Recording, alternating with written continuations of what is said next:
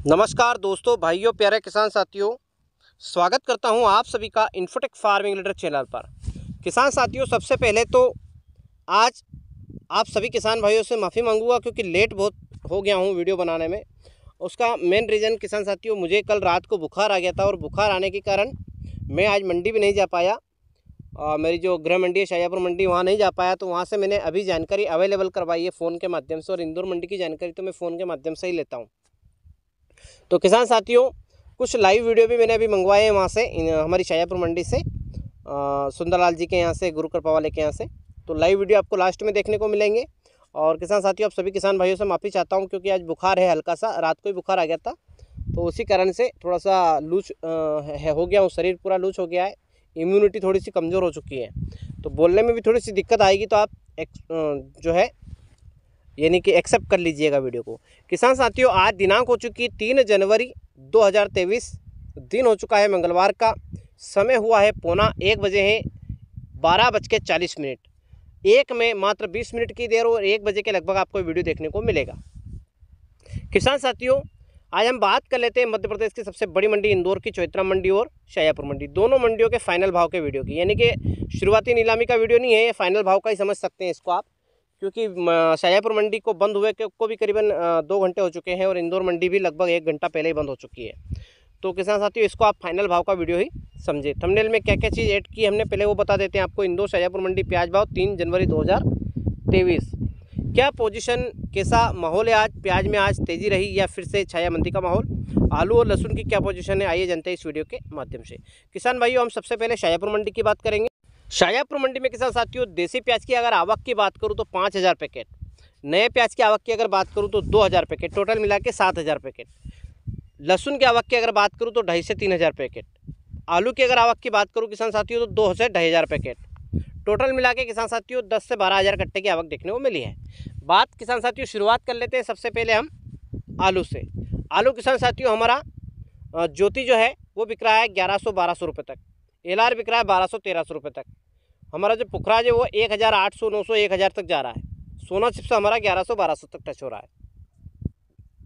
तो ये तो हो गई किसान साथियों, आलू की जानकारी। थोड़ा सा धीमी गति से बोल रहा हूँ, उसके लिए क्षमा करें, बोलने की नहीं बन पा रही है। किसान साथियों, बात कर लेते हैं लहसुन के भाव की। लहसुन में तेज़ी है। आलू में मंदीवाड़ा हो गया है, पुराने प्याज में मंदीवाड़ा हो गया है, नए प्याज में फिर से रिवर्स हो गया नया प्याज। कहीं ना कहीं देखा जाए तो कल तो तेज़ी थी, लेकिन आज से फिर रिवर्स हुआ है नया प्याज। एक्सपोर्ट जहाँ हो रहा है प्याज, वहाँ पे बहुत ज़्यादा तेज़ी है प्याज में। लेकिन यहाँ पता नहीं, मध्य प्रदेश और पूरे भारत के अंदर प्याज में नरमी देखने को मिल रही है, लेकिन एक्सपोर्ट में तेज़ी है। अब इसका क्या मालूम, क्या कारण है? तो किसान साथियों, सबसे पहले हम लहसुन की बात करेंगे। देसी लहसुन और देसी ही आती है शाहजहाँपुर मंडी में, जी टू ऊटी नहीं आती है। तो किसान साथियों, देसी लहसुन जो है हमारी ना रिया, रियावन सिल्वर आती है। देसी लहसुन किसान साथियों, हमारी दो सौ रुपये प्रति कुंटल से लगा के आठ सौ रुपये में बारीक लहसुन जा रही है। आठ सौ रुपये से लगा के, सोलह सौ रुपये में हमारी मीडियम लहसुन जा रही है, सोलह सौ रुपये से लगा के पच्चीस सौ रुपये तक हमारी एक्सपोर्ट क्वालिटी की सुपर लहसुन बिक रही है।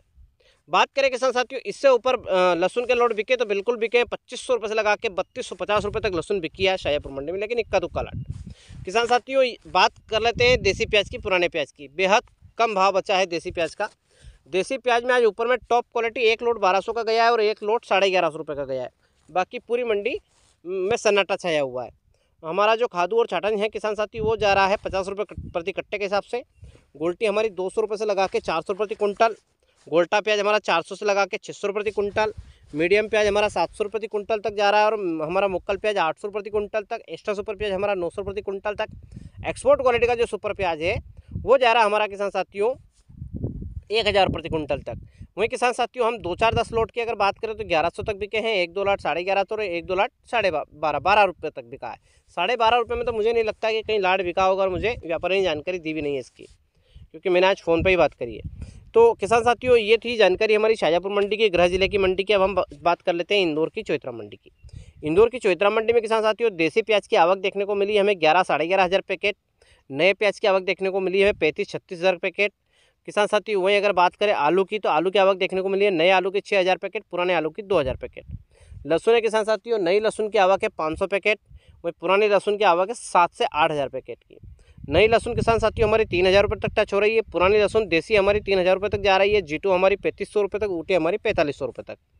बात करें किसान साथियों देसी हमारे, सॉरी, हमारे आलू की, पुराना आलू किसान साथियों हमारा एक हज़ार रुपये तक टच हो रहा है, ज्योति जा रहा है ग्यारह सौ बारह सौ रुपये बाकी एक हज़ार रुपये तक ही बिक रहा है, बाकी जितने भी आलू आए।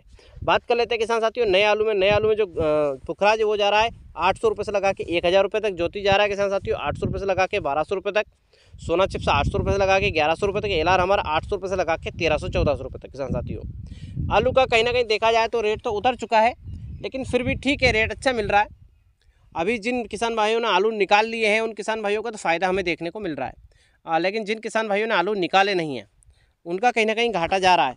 और एक बात और कहूँ किसान साथियों, अभी एक्चुअल में क्या है कि हमारा जो वीडियो है वो बहुत कम लोग देखते हैं। इसलिए कहीं ना कहीं देखा जा रहा है तो वीडियो बनाने का मन करता भी नहीं है। क्योंकि किसान ही हमारे वीडियो को पसंद नहीं करते हैं वीडियो कम देखते हैं। तो थोड़ा सा वीडियो बनाने में मज़े भी नहीं आते। पहले तीन तीन वीडियो बना लेते थे क्योंकि लोग देखते थे, इसलिए ज़्यादा बनाते थे। अभी लोग कम देखते हैं, इसलिए कम वीडियो बनाते किसान भाइयों। तो ये तो हो गई किसान साथियों हमारे आलू की और लहसुन की जानकारी। नया प्याज हमारा किसान साथियों, इंदौर की चौतरा मंडी की अगर बात करूँ नए प्याज की मैं तो नए प्याज किसान साथियों, इंदौर की चौतरा मंडी में सत्रह सौ, साढ़े सत्रह सौ रुपये तक टच हो रहा है एक आध लाख अट्ठारह सौ रुपये देसी प्याज की अगर बात करें किसान साथियों तो हमारा जो देसी प्याज है, उसमें भी कोई ज़्यादा वो नहीं है, हाई लेवल वाला भाव नहीं है देसी प्याज का। देसी प्याज किसान साथियों, हमारा बारह तेरह बारह तेरह रुपये तक ही जा रहा है। तो ये थी किसान साथियों, जानकारी, अगर जानकारी अच्छी लगी हो आपको, घर बैठे जानकारी दी गई है आज को, आज आपको अगर जानकारी अच्छी लगी हो तो वीडियो को लाइक और कमेंट करें। चैनल में पहली बार विज़िट किया तो चैनल को सब्सक्राइब करें। आप सभी अन्नदाताओं का बहुत बहुत धन्यवाद। जय जवान, जय किसान, जय हिंद, जय भारत। वंदे मातरम। मिलते हैं किसान साथियों अगले वीडियो में, यानी कि कल सुबह साढ़े ग्यारह बजे। तब तक के लिए आप सभी किसान भाइयों का धन्यवाद। किसान साथियों, अगर कोई ब्लॉगिंग चैनल देखना चाहें युवा वर्ग का कोई व्यक्ति हो और अगर ब्लॉगिंग चैनल पर विश्वास रखता हो, ब्लॉगिंग चैनल देखता हो तो हमने ब्लॉगिंग ब्लॉगिंग चैनल स्टार्ट किया देवड़ा ब्लॉग जाइए, देखिए लिंक जो है डिस्क्रिप्शन में हमने दे रखा है। किसान साथियों, अब हम बात करेंगे बांग्लादेश इंपोर्ट एक्सपोर्ट रिपोर्ट की। किसान साथियों, अब अब अब बात कर रहे हैं बांग्लादेश इंपोर्ट एक्सपोर्ट रिपोर्ट की। बांग्लादेश इंपोर्ट एक्सपोर्ट रिपोर्ट किसान साथियों, ये कल दो जनवरी 2023 की रिपोर्ट है किसान साथियों। और कल था सोमवार, आज है मंगलवार, आज है तीन जनवरी 2023 कल की जानकारी है, खोजदांगा बार्डर से किसान साथियों वैसे तो बांग्लादेश जो इम्पोर्ट एक्सपोर्ट होता है वो पाँच बार्डर से होता है। मेहंदीपुर बार्डर हो गया, खोजदांगा बार्डर हो गया, बोमरा बार्डर हो गया और एक हेली, हीली बार्डर कोई सा पता नहीं क्या नाम है उसका, एक हेली बार्डर हो गया और एक और कोई सा बार्डर है। इस टाइप से किसान साथियों पाँच बॉर्डर है और पाँचों बॉर्डर से प्याज जा रहा है अभी, इसमें कोई दो मत की बात नहीं है। लेकिन मैं जो बात कर रहा हूँ वो सिर्फ़ आपको खोजदांगा बार्डर की बात कर रहा हूँ।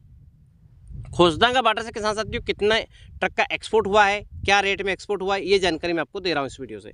खोजदांगा बार्डर से किसान साथियों आप थंबनेल में देख रहे हैं, ग्यारह ट्रक का एक्सपोर्ट किया गया है और बैलेंस में ज़ीरो ट्रक रहा है किसान साथियों वहीं अगर मैं बात करूँ किसान साथियों नासिक तो नासिक से हमारा जो मीडियम मोटा प्याज एक्सपोर्ट किया गया है, वो है बत्तीस से चौंतीस टका प्रति के जी के हिसाब से। इसको हम अगर कन्वर्ट करें भारतीय रुपए में तो ये होता है किसान साथियों अट्ठाईस से तीस रुपये प्रति किलो के हिसाब से प्याज एक्सपोर्ट हो रहा है। और ख़रीदा जा रहा है किस रेट में?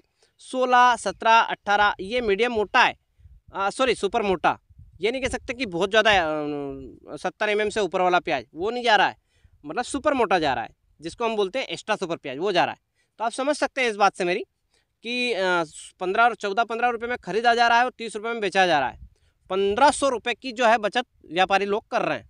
तो ये तो गलत है, सरासर गलत है। ये तो किसान भाइयों को उसे लूट रहे हैं और उधर कमा रहे हैं, बढ़िया कमा रहे हैं, इसमें कोई दो मत की बात नहीं है। अब हम बात करें किसान साथियों हमारा जो मीडियम मोटा माल है, वो भी इसी रेट में जा रहा है, नासिक का। एमपी का जो प्याज है किसान साथियों, वो एक्सपोर्ट नहीं हो रहा है। वहीं अगर मैं बात करूँ किसान साथियों, हमारा साउथ का जो प्याज है, देसी, वो भी एक्सपोर्ट नहीं हो रहा है। अब आता, आती है बात किसान साथियों, नासिक के नए प्याज प्याज की। किसान साथियों, नासिक का जो नया प्याज है, वो जा रहा है हमारा खोजदांगा बॉर्डर में पैंतीस रुपये से लगा के, सॉरी, पैंतीस से सैंतीस टका प्रति केजी के हिसाब से। इसको कह सकते हैं हम बत्तीस से तैंतीस रुपये प्रति किलो। यानी कि एक कुंटल पे ये सीधा सर्ट कमा रहा है, तेरह रुपये चौदह रुपये में जो प्याज खरीदा जा रहा है तेरह चौदह पंद्रह रुपये मान लें आप, पंद्रह रुपये और ये जा रहा है बत्तीस रुपये तैंतीस रुपये यानी तैंतीस, चौंतीस रुपये बत्तीस से चौंतीस रुपये प्रति किलो के हिसाब से, और ख़रीदा जा रहा है चौदह रुपये प्रति किलो, यानी कि बीस रुपये बचत हो रही है इस पर बीस बीस रुपये में ये मान के चले, पाँच सौ रुपये का भाड़ा काट दीजिए, पाँच सौ रुपये अदर काट दीजिए। इसके बाद में भी किसान साथियों, एक हज़ार रुपये प्रति कुंटल के हिसाब से ये बचत कर रहे हैं, व्यापारी लोग। तो तो गलत बात है यार। किसान साथियों, आपके साथ नाइंसाफ़ी हो रही है, आप खुद देख लीजिए, मैं ज़्यादा कुछ नहीं बोलूँगा। वीडियो पसंद आया आपको तो वीडियो को लाइक और कमेंट करें। चैनल में पहली बार विज़िट किया तो चैनल को सब्सक्राइब करें। आप सभी किसान भाइयों का धन्यवाद।